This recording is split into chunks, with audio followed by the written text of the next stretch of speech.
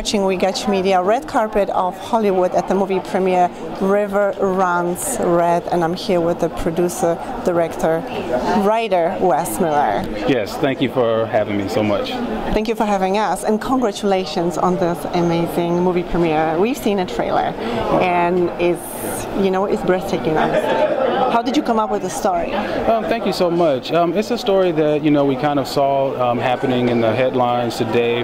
Um, and being a former attorney, you know, I've uh, been inside the system, and I just thought it would be interesting to look at this issue um, from the perspective of a person inside the system. And if the system fails that person, what what options would he have left? And, um, and then we just began crafting the story, and just wanted something that would be, mm-hmm. both be entertaining and a conversation piece. Yeah, I mean those stories are building up those days. Uh, you know, it's it's happening. It's really happening out there. And um, what is amazing, I mean, how did you pick the characters? Like we see George Lopez in the movie and Taye Diggs mm-hmm. and all these phenomenal characters. How did you come up with the vision to match them up so perfectly? Um, you know, sometimes it's just a little bit of divine intervention. Um, but George Lopez has been amazing, um, and we were looking for somebody for, with the characters that both could have some empathy and also some dramatic gravitas. And of course, we know Taye has been, you know, um, he's a legend and has shown his range, and we felt like he could communicate um, the the lead character's struggle in a very visual way that also connects to you know America.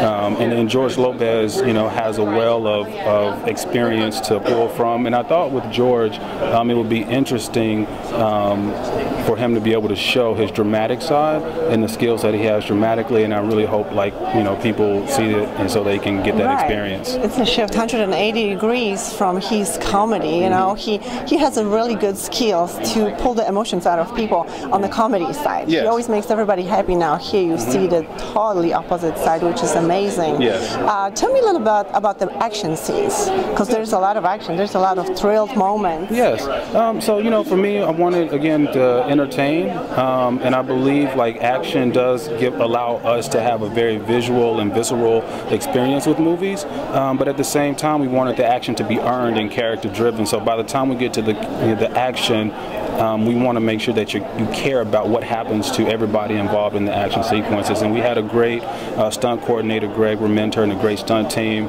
Um, and it was just really awesome, like putting that together with you know me and my editor Rowan.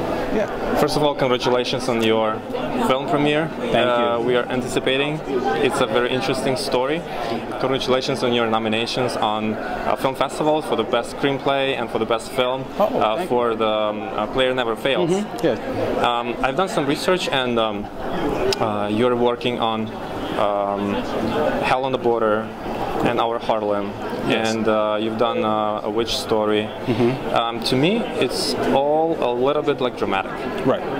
And when I was watching the trailer of your film, um, you had those um, autumn, mid-autumn you know nature and those colors it's a little bit cold mm-hmm. makes you feel lonely yeah and willing to get some protection and warmth what is inspiring you um, I mean, that's a good question. I think, like, for me, honestly, it's with, first with the material, and for some reason, I am drawn to more dramatic, uh, contrasty uh, type of material. Um, and it's funny that you recognize that. But yeah, you know, I just, you know, I think, you know, different filmmakers um, have a certain aesthetic that they gravitate towards, and for some reason, you know, the that that darker, the um, the more dramatic aesthetic kind of is kind of where we're at. And I just think it's, it's visually interesting. And, you know, with most films, it's about a lot of conflict. Um, and I just think that contrast and that, that mood really helps a lot of times just tell stories where you have conflicted characters. It does definitely. All the colors which you, mm-hmm. you, you, you've used, I mean, I'm anticipating to watch the film. Awesome. Because it's, it's, it makes me think a lot. And the story of two fathers having the same issue. How did you come up with this idea, the feeling? What inspired you? Well, what inspired me was just like what's happening today, um, and then just being an artist, you want to comment on what's happening and maybe contribute something to that discussion. And you know, I felt like you know you have a father who's inside the system and a father outside the system, and different races, different colors. But at the end of the day, you have the system that is designed to keep us um, civilized and advanced from where we were in the wild, wild west. Well, what happens when that system fails all fathers, no matter if you're in the system or outside the system? Um, and at the end of the day, I think as a society, we would just regress back to the Wild Wild West. So I see this often as like a modern Western in the sense of the sheriff leaves the town. The sheriff in this movie is the system.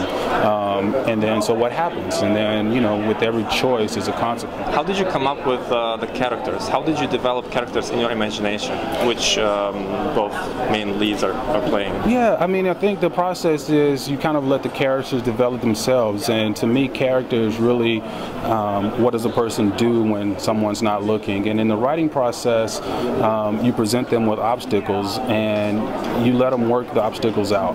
And, um, and, and that kind of really dictates who they are. And you always want your characters to be distinct and have their own point of view. So, for instance, Taye's character um, has the similar obstacles as George's characters. Um, and then generally, because they have different educational backgrounds, different life experiences, they would take on these conflicts in different ways. Um, at the end of the day, for this film, even though they take it on different ways, um, they end up on the same path together. So it's just really just kind of thinking it through and wanting to give the, uh, the audience characters that they can relate with, empathize with, and actually care about what happens. How did you feel working with these two lead actors of different uh, backgrounds, and they, they, they have different characters? Mm -hmm. Like one is a mechanic, another one is a judge. How did you work with them to make them feel the, the role to enter the character? Was it easy? Maybe who was the most difficult? Yeah, I wouldn't say it was easy, but Taye and George both um, are amazing actors. So I was really blessed in that regard to be able to work with them. Um, and at the end of the day, it was really us working together to really identify who these characters are, how they would respond, and like really pushing for the truth of the matter and, and, and really wanting to get the best out of them to convey to the audience what their emotional state is. Um, so again, by the time the end of the movie comes, we want you to actually care what happens to them and the, and the officers as well. You know, um, one thing that was important to me was not to make this a one-sided affair. We really wanted to make sure that officers were represented and also like the regular, you know, people were represented. So it's not really an indictment against police officers. Um, we want you to care what happens to the police officers as well. And um, you know, I look at it as a tragic story, um, and uh, you know, that that's kind of you know what we did. We just wanted to tap into those actors' um, reservoir to bring their experiences and whatever helps them relate to the character, which visually we can present to the audience. Many artists, when they they draw, they, they draw the picture, they have a message, mm -hmm. and the message sometimes is really tiny and it's hidden. It's not like a big picture which everybody can see. Right. So, what is your this tiny message, and why did you come up with the uh, with the name uh, River Runs Red? Well, I, I, can't, I won't answer the question about the message because um, let's let everybody take their own from it. But I think River Runs Red is, I think the river of life runs red with blood generally, and we all bleed the same. Um, and so, no matter what side of the fence you're on, what race you are, what country you're from, you know, our, the river of life will always be red. And I think once we as a society understand that, um, it just helps us advance a lot more. So, um, but yeah, on the message part, um, I was asked that question at a festival, and I just I won't answer that one. That's like well, I, yeah. I understand. Yeah. Well, I appreciate that. And the last question yes. for you as a successful writer, filmmaker, producer, director, your three tips of success for our young generations. Um, in filmmaking? Yes. Yeah. So I would say persistence, work on your craft, um, and persistence. Yeah. Persistence, work on your craft, and persistence. Yes, because it's, it's tough. You're watching Red Carpet of Hollywood Marina Kufa We got you Media here with RJ Mitte. Officer Thomas, River Runs Red. Yes. Oh my God, yes. well, tell me all about it. It, it was great. I was I was very happy that I could uh, have a small have a small little bit in this. I'm really happy about. Um, we had a great group of people, but um, short lived. You had fun, did you enjoy I had a lot of fun, yeah. And Wes, Wes was a great director, and we had a great group, and oh, yeah. I was very happy that um, that uh, to meet some good friends and see some some action. Yeah, some action.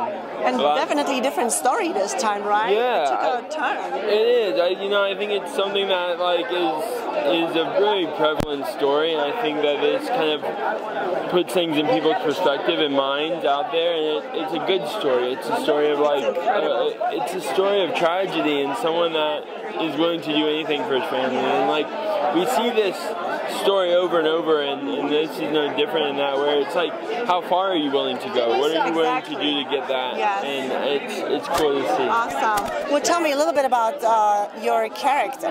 You are the cop, so. I, I, I have a small little yeah it was great I mean you know it's it's I uh, I'm, I'm sadly kind of an innocent bystander but um but it, it was cool I mean you know I, I came in for a brief a brief stint in the movie and mostly just kind of a, a bridge piece and you know these characters are fun to do because you don't really have a lot of meat to it, but what it is is you can help push the story along. And I, I enjoy working and I enjoy this type of types of content. So How was it to work in with George Lopez and Taye Diggs? you know, I they, they mostly just shot me. So I I um I didn't get to work much with them, but they were really great. And um, and you know George has become a good friend of mine, and Taye was was amazing to have It's conversation amazing. with. He's Oh, smart, yeah. and you know you know who's actually like a really OG is Luke Luke Luke Hemmingsworth. Like.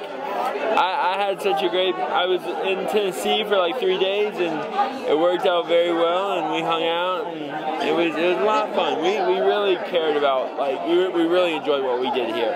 So well, listen, let's go and check out the movie. Yes. Fantastic screening. Thank you so much no for your worries. interview. I hope you enjoyed. Thank, Thank you. You're welcome. Have a good day. First of all, congratulations. Thank on you your, so much. Thank you. on your beautiful work. Thank you. Uh, please share with us your feelings. How did you feel playing this villain?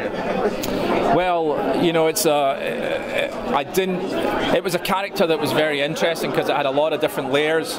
You know, he suffered so much from his father's what he was going through with his father situation. Um, well, no, he, there was a lot of underlying race, uh, racist resentment uh, within him.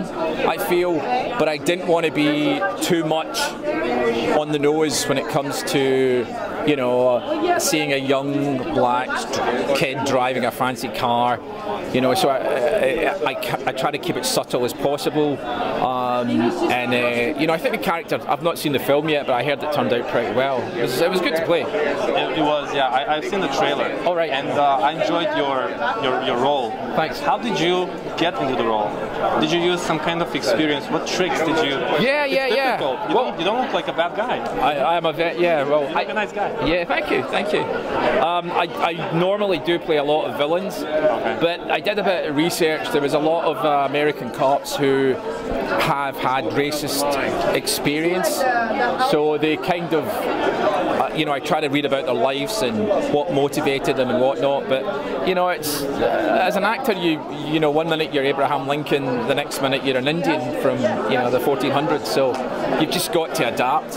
But the cast were really good to work with, you know. But it was fun. It was very much fun. How did you feel uh, playing together with your uh, partner, another villain? Luke. Yeah. Well, I feel like Luke wasn't so much a villain. He had a heart, and he suffered for it. You know, and you have so you basically had an Australian and a Scottish guy playing two southern, you know, racist cops. Yeah. So I try to stay in, stay with my accent, my American accent, and he would always hit my trailer and tell me to stop talking American. So he killed my accent all the time. Your three tips of success for our viewers. Um, perseverance, never give up, and always pray. Keep God on your side. Always pray.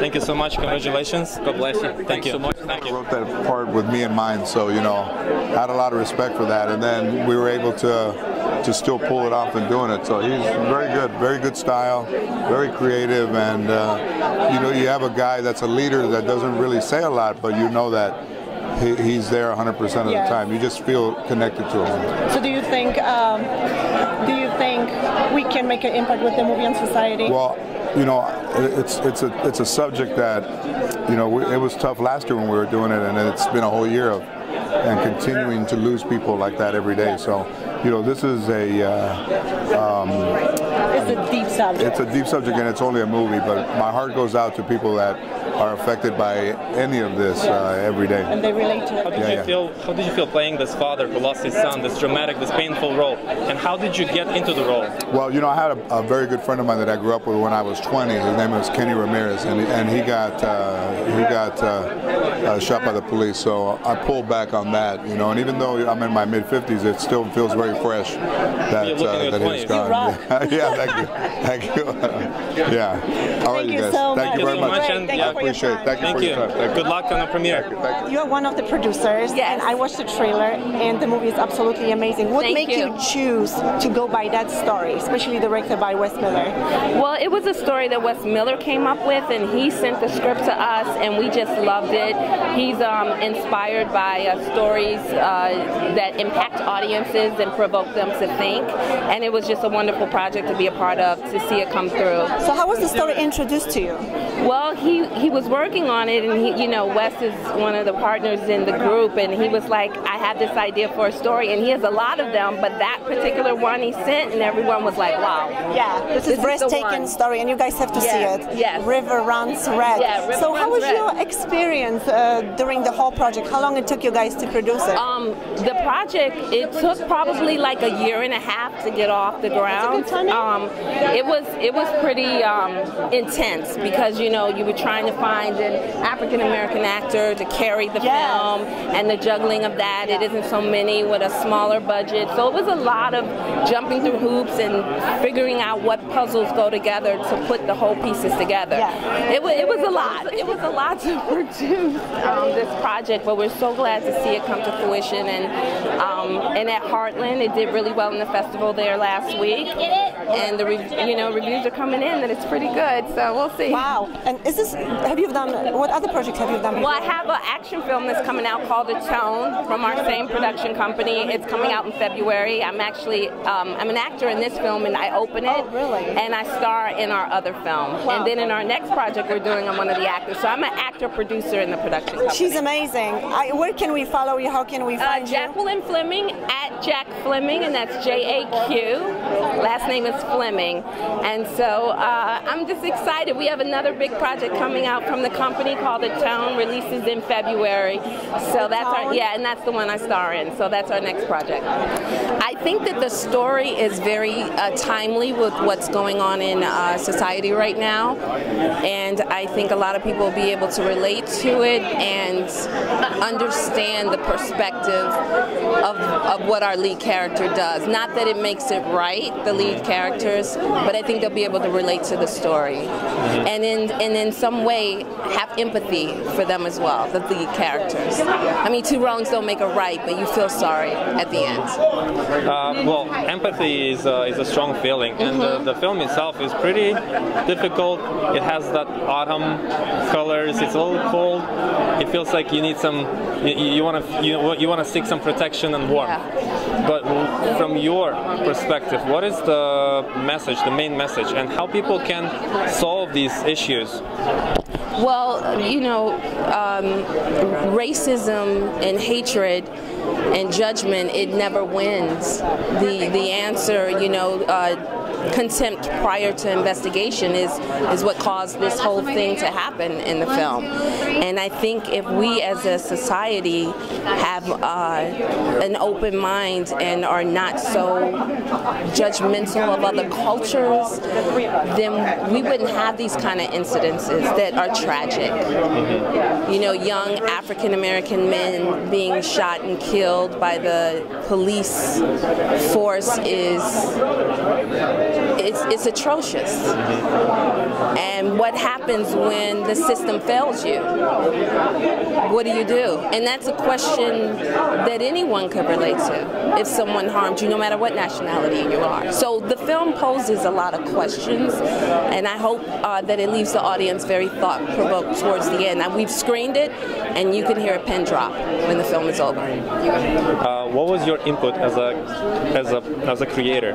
I was one of the producers on the project. So from script development, all the way from the development to pre-production, all the way to when we were on set to post-production. I'm still working on the film, so it's How a lot. How did you feel working on the set? I mean, you you had to, to, to be in that story, in that you know, that it, it, it was hard because I felt it. I was on set, and Jennifer, the, um, she plays Taye Diggs' wife in the film, and the scene where she she breaks down. It, it, you know, you can't help. Everyone is on the set, and you're just like, your heart is heavy. yes. It's so heavy. It's such a tragic story, and um, I still get teared up thinking about it. When I read the script, I just bawled. I just cried and cried, and I was like, I have to be a part of this. You know, I have to be on board and tell the story. What was the most difficult moment for you on the set? Um, I, th- I think um, the scene where it was after the funeral and we had a gospel um, group from Kentucky that was singing, and it was so heavy. Like the song they sang, everyone on set was just crying. We were all like behind the cameras, and our tears were just falling. So, yeah. Well, I don't want to make you cry right now. You have yeah, a I feel like that. I'm gonna cry. That's emotional. Uh, could you please share with us, with our viewers, your three tips of success? Okay, uh, my name is Jaqueline Fleming. I'm an actress and a producer, and I think the success is just um, it's really being happy for other people's success and paying it forward in life, um, giving and mentoring and things like that, which has been given to me and I give away. You keep you got to give it away to keep it. Thank you so much. Thank you for your interview. Good luck Thank on the you. premiere. And Thank you. in order to stop you crying, can we hug? Yes. Actually, they're showing my